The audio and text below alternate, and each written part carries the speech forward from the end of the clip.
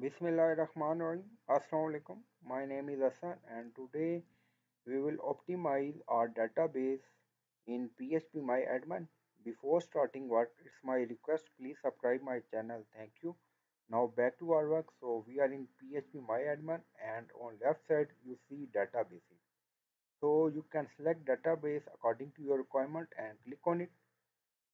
So tables are open in that database scroll down you see check all. So click on it and or drop down click on it and then you see table maintenance heading. And then click on optimize table.